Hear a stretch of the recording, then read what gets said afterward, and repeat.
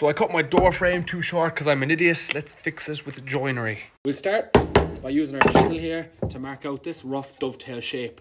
Next, we whoop out Mr. Saw and cut along our markings. Ah, the coping saw, only ever loved when he's practical. There we go. Mighty. Sharpen the chisels every time. Don't strap till you get enough. That's the stop. Bit of fine tuning then. Now we're going to transfer our marks. No coping saw required this time. Alright then, moment of truth. Getting a lot of resistance, which can be a good thing. This is precision joinery here, lads.